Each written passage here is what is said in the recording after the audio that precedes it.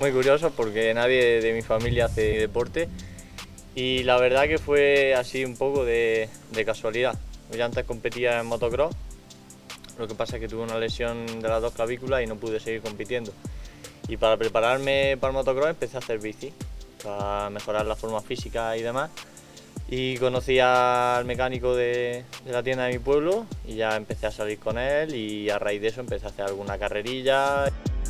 Cuando era categorías cadetes, categorías junior, siempre decía, Buah, ¿te imaginas que un día corriera un Open de España? Y luego ya cuando corría de España, Buah, ¿te imaginas que un día corriera una Copa del Mundo o un Mundial? Para mí eso era lo más grande. Y ahora que, por así decirlo, ya no es solo correr, lo que es llegar y, estar peleando por un campeonato de Europa, por un campeonato del mundo, por una Copa del Mundo, es un sueño. El ciclismo a día de hoy es mi vida. Es mi vida y todo lo hago en, función al ciclismo.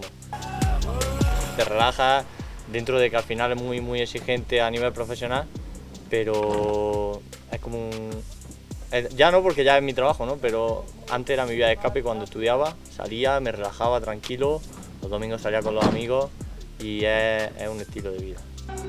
Uno de los momentos más especiales, aunque no haya sido lo más importante que haya ganado para mí, fue mi primer campeonato de España en 2018, que me acuerdo que fue, iba a mitad de carrera pensando, digo, ya no puede fallar nada, no puede fallar nada, iba solo, digo, hoy ya tiene que ser, tiene que ser, y al final fue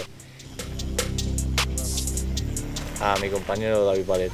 Es el tipo de corredor que a mí me gustaría ser. Corredor constante, trabajador y, es uno de los que también me ha enseñado, junto a Coloma, que con trabajo, eh, sacrificio y esfuerzo todo se puede conseguir.